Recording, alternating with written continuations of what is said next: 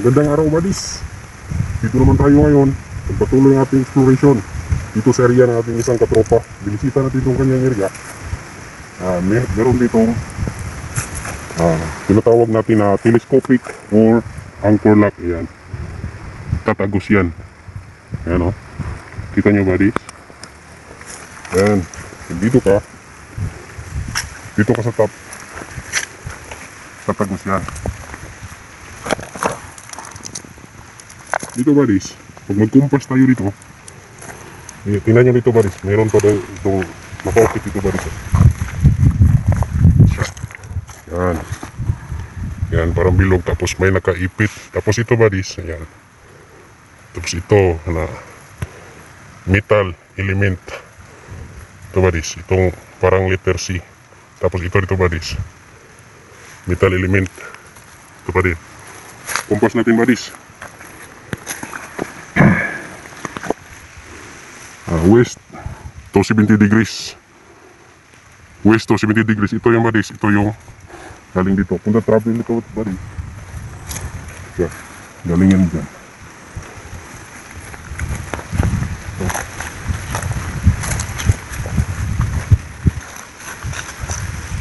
dito na tayo buddy yan nasa east na yun 90 degrees. Nakapadir na dito naka-padir, naka-wall type. Huwag nyo nang pansinin ito ba, di ba? Yung tayo ng kalabaw. Ito ba, di? Yan. Mayroong nakaukit na parang abstract ko ba, di? Yan. Crack, parang tingnan yung crack, pero abstract. Y, parang letter Y. Yan. Pag dito na ako badis na tayo, nasa 90 degrees na yun. At ito badis, may remarking na dito yung ah, mga Japanese retrieval companies meron silang remarking dahil itong area is na-move na yung mga ibang mga bato. Dito ako na tayo Yan. Ah, northwest. Northwest. Northwest 315 degrees itong kahoy baris. Yan.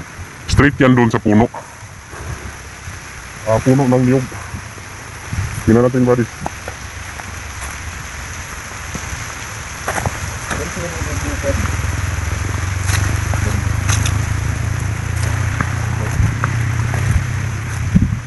Kita nyo yan, guys. May butas. Yan. Bagong nyog lang yan. Bagong tanim. Hindi pa nga namumunga. Pero binutasan ng ating mga ah, ibang shadow ninja. Uh, nagtatrabaho sa mga ah, Japanese retrieval company. Binutasan nila yan dyan. Uh, nagsilbing remarking or lock point sa ating metal element 315 degrees. Ang aling sa kasi. Yan o. Pag dito ako tayo buddies. Ah, example. Ah. Yan. Dito ko tatayo. Southeast 135 degrees. Andun yung yun sa may tae buddies. Yan. Diyan yung ating spot. From here, 315 degrees. Ayan, pag titingnan ko ito buddies, lock point siya sa metal element yung bilog. Yan pa rin. Malalim yan. Yung bilog. Yan o. Lock point siya sa northwest. Kabadis. Lock point siya sa northwest 315 degrees. Yan. Lock point siya sa northwest 315 degrees. Azimuth 315. Back azimuth 135. Dito tayo pa rin. Ulit tayo dito. Ito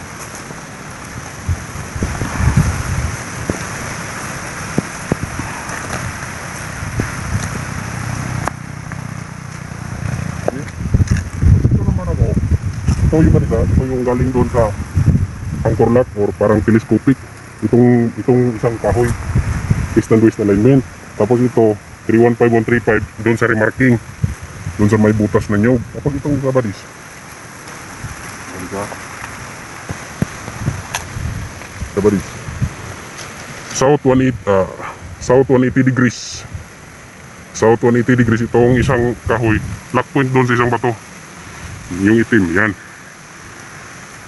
Yan. 180 degrees south yan. Ayan, 180 degrees south. Malayuan kasi mga bato dito, buddies. Ito siya, buddies. Galing doon silang bato, ito yung kahoy. Ito, buddies, ha? Sana, ha? Naintindihan nyo? Galing ito doon. Hanap point, isang bato. Tapos, itong isang kahoy, galing doon sa Lock. Tapos ito, galing doon sa niyog. Dito yung kanyang intersection. Diyan mismo sa may tae. Joke lang. Dito yung tunay na tae, buddies. Hindi dyan. Dito yung center spot. So, buddies, ah, nag-remarking sila dito. Ah, yung ginagamit nila, may drone. Yung drone nila, buddies, is may dalang scanner na yon. Check nila, check na lang natin to sa ating ah, Japanese one dito sa east side ba ah, dito sa west side check natin Marga okay dito sa south side ba south side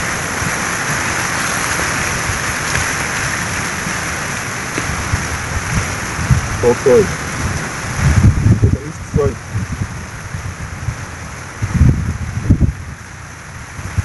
dito sa north side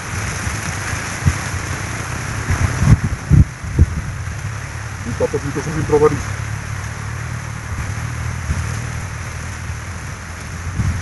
So, dito siya, dito siya mag-ikot Baris. Okay? Ah.